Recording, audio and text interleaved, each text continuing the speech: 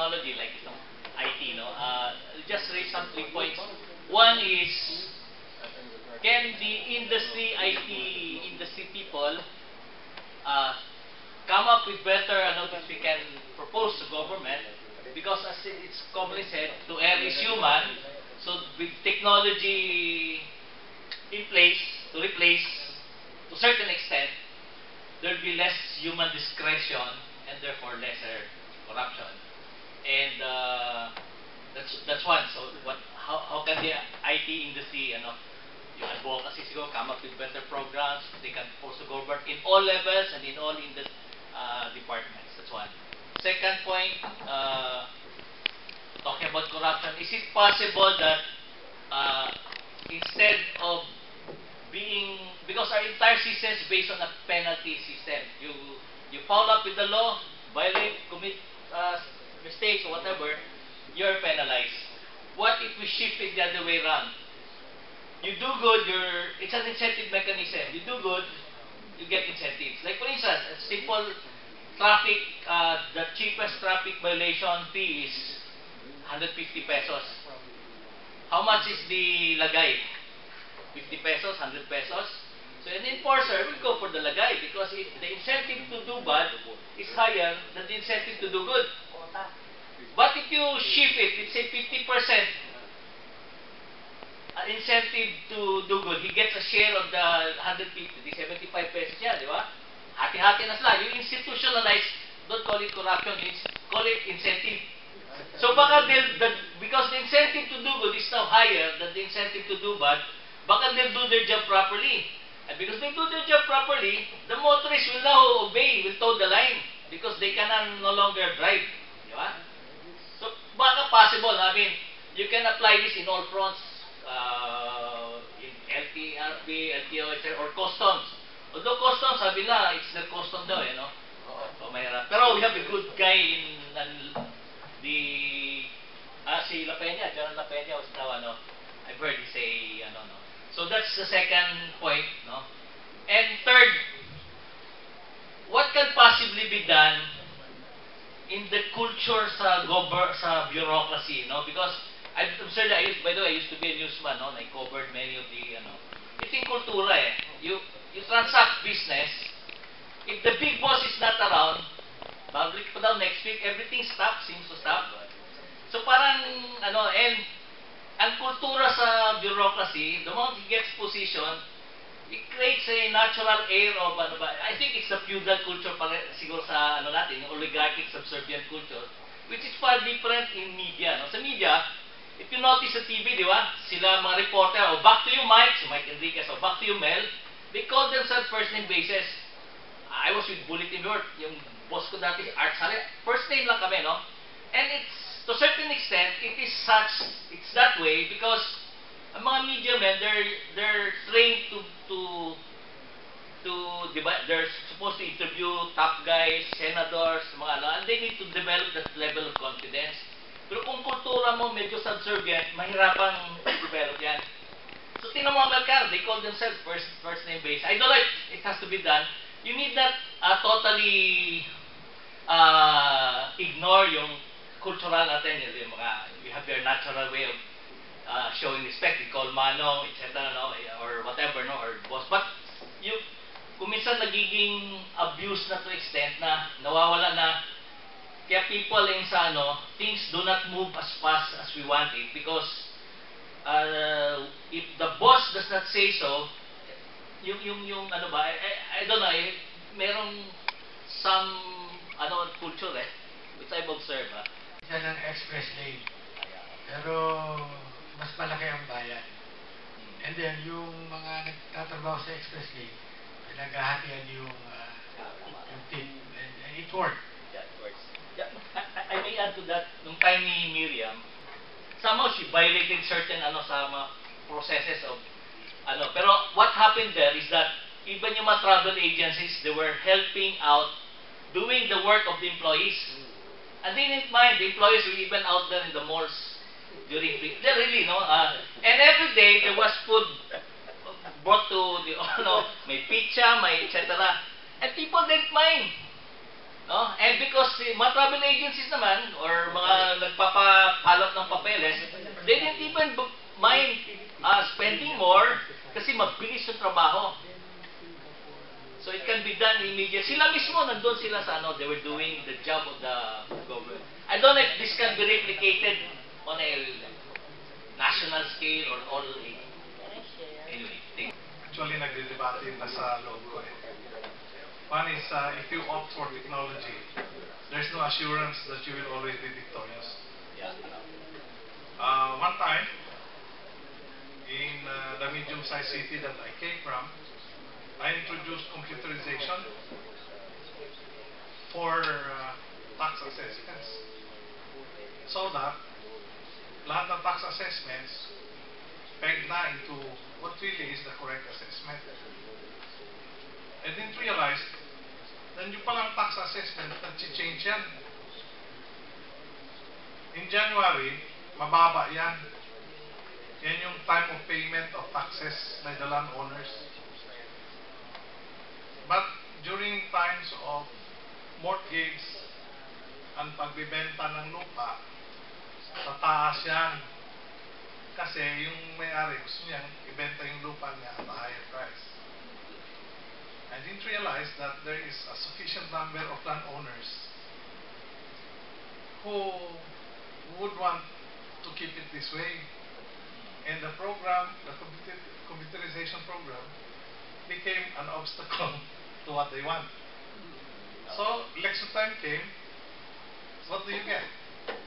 Intense campaign against you because you have introduced something which is inflexible. so uh, I think uh, we really have to think it several times on how to make a foolproof nationwide system. Kasi pagka iniisa-isa mo, matamaan ka. Tatamaan. Um, so we, we fall back to the issue of elections.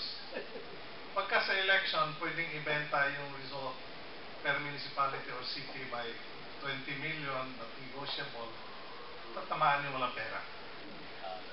Even if it is highly sophisticated, computerized, etc. Because there are always flaws in the methods. Okay, that's one reaction I have. The other reaction is, uh, uh, I would like to believe dun sa sinabi mong feudal structures. But even if you become modern and you remove uh, feudalism, landlordism, etc., if the structure of governance is still vertical and you have to wait for the boss, which is not necessarily feudal, we have very modern corporate decision uh, structures where decisions will lean only on one. Then the tendency is ganun pa rin. And so uh, the other the other uh, option to this is of course the horizontal process where if leadership will discuss the 5S ba yun? 5R, the way to sort things out. 5S, ano? Ah.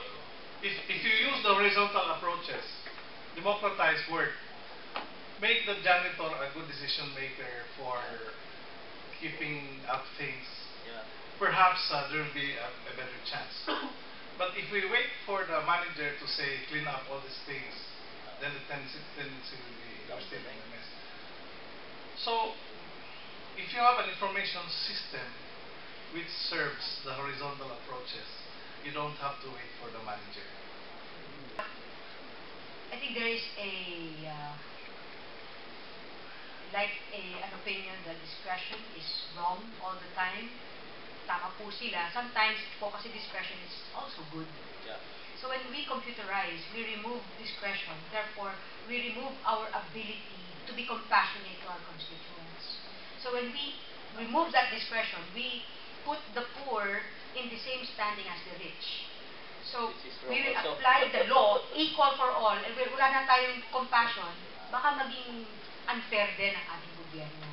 So dapat dun sa, kung magkakaroon tayo ng sistema na dapat gawin, let us see how we could tweak it in such a way that we use discretion for the good. Again, in all boils down to the goodness of the individual.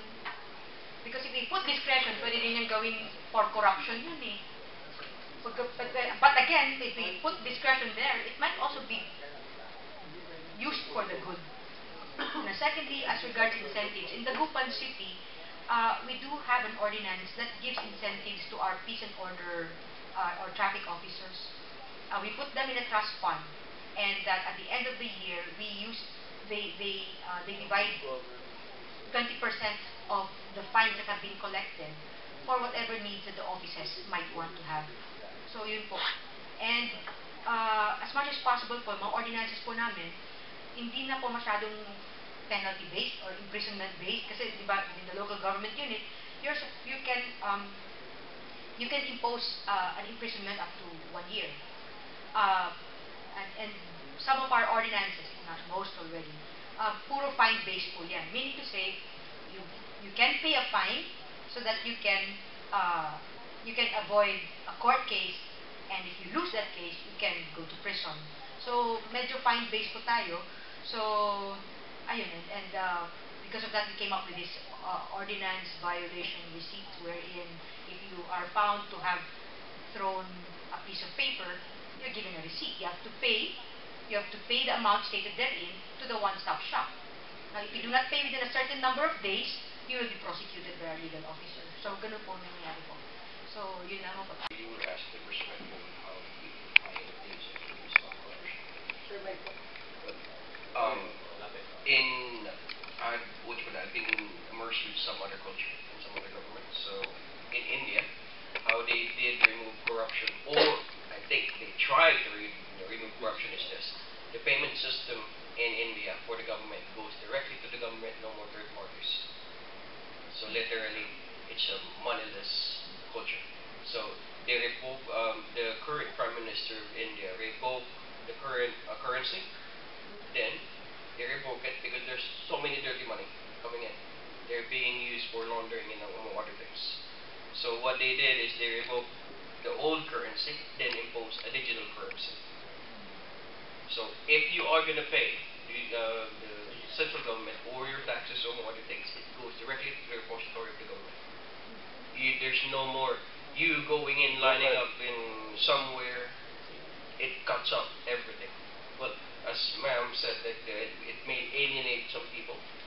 It would it it put the it put the entire community on equal footing. Be rich or you're poor, you go to the same line. But it goes, well, it this way, it's a double-edged sword. It can be good, it can be bad. Now, um, for what you call it, for Israelis, right? For Israelis, they're fighting what? Eight countries all the same time on all fronts. Now, uh, their sense of IoT was pretty much sure. So, example, they identified you as a threat from one corner of Israel to which would to another corner, right? Automatically, your face appear in every watch list within like five minutes. Uh, there was an incident back then that we had one of our British guys sit down and close down the company because we usually consult, right?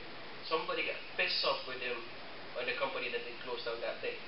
When he reached the airport, he was already a red flag. Yeah. He was literally stripped down on the airport just because his family name was Arab. That was the excuse. So, that was only 14 minutes from the building that he closed down. He fired everybody, and because his assignment is give the paper, sign it off with the president, we will close down that office. Then after that, you get out, right? 14 minutes at all it takes. Then he was put on hold for 24 hours in Israeli Air Force. That's how fast the response is. Because everything is connected and everything is, put it this way, actual, it's, it's based on the culture. If you wanted to make it work, you have to align technology, culture, and the mindset of the people. If you don't have any, I mean, if you lack any of those three, then you will have either a very bad government riding on technology or a good one, but it still depends on the culture. So the leadership still is at the highest position and they can control the society. Gusto ko muna magpasalamat kay Sir Mikey for inviting me here. This is the first time na umattend ako sa mga ganitong forum. Kasi I used to attend seminars, orientation sa insurance industry. So, thank you, Sir Manny. Ah, actually, hindi ko po alam kung makaka-attend ako kasi masama ang pakiramdam ko kagabi, the whole day kahapon. And I prayed. Nagdasal po talaga ako. Unang-unang na-notice ko kasi dito, yung nagpipray before mag-start yung meeting or forum. And thank you, Sir Manny po talaga. And one thing I prayed na, Lord, kung kalooban mo na maka-attend ako dito sa forum na ito, ah gigisingin mo ako nang hindi ako mag-alarm. And I'm here. And thank you sa lahat ng ng insight, sa lahat ng natutunan ko dito. And I share it to the office, sa lahat ng makaka, mga friends ko. And then, God is good kasi dapat nasa El Shaddai ako ngayon. Pero nandito ako. Mr. ah, Congressman Villarama is here. Isasabay niya ako pupunta doon. So makaka-attend din pala ako. Thank you, Lord. Thanks, thanks everyone. God bless. Daming typing mo. Oh. Daming typing mo. God is What is, uh, what's one policy, policy change that would accelerate the benefits of IoT?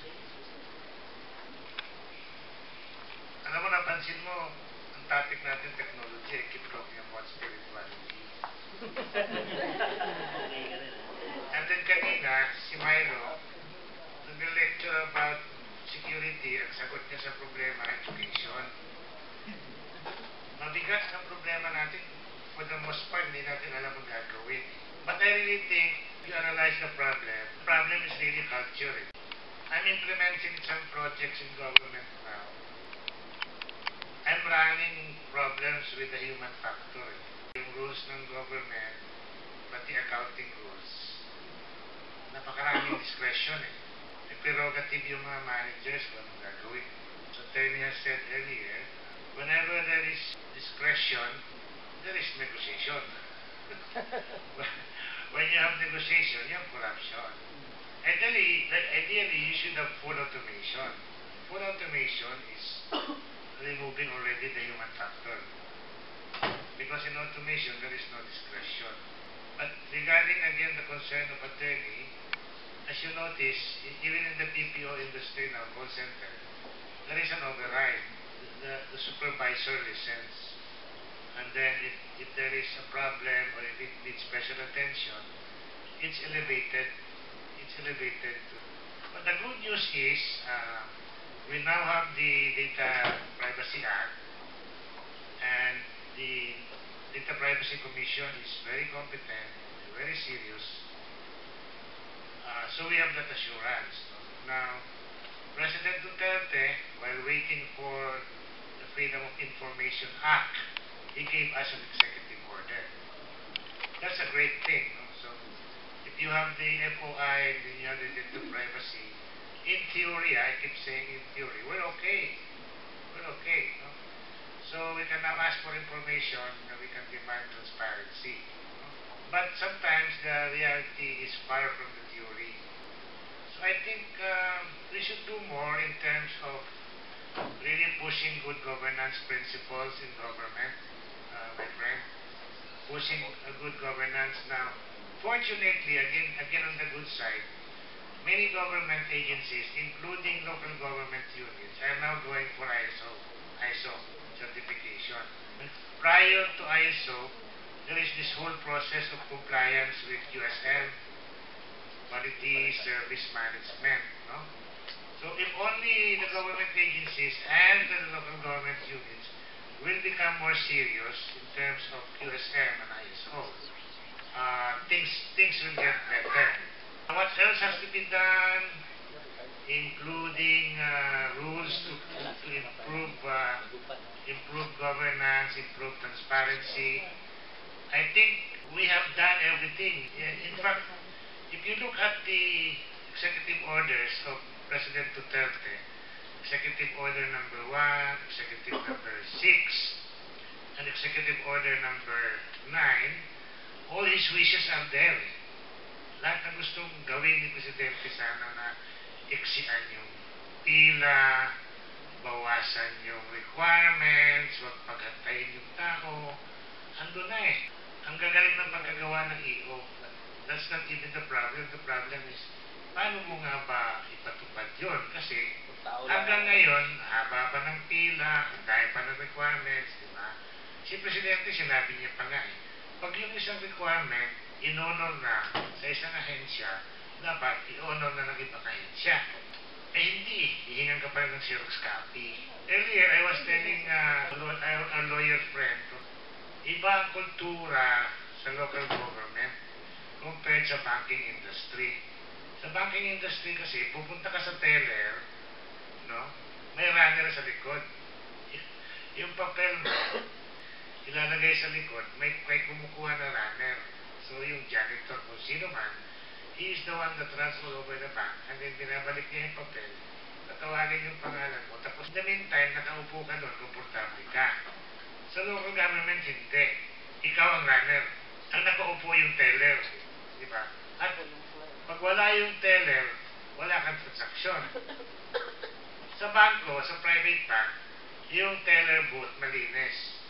No? Sa gobyerno, andun yung mga santo-santo, mga anak, mga apo. Personalized yung teller. Ibig sabihin, may may-ari ng teller na yun. Ah, sa bangko, pagka dumami ang tao, nagbubukas ng lima pang teller. Di ba? Kasi may backup teller at saka ah, alam nila pag tumadami yung tao, kailangan upuan nila. A lot of changes have to be made. No? Ah, I used to be in the foreign service and nalala ko nga doon sa New York Consulate. Merong window para sa legal, may window para sa passport, may window para sa authentication, may window para sa tax payment. Nung unang dating ako doon, napansin ko ba, ang haba ng pila ng passport, no? Halos walang tao sa visa.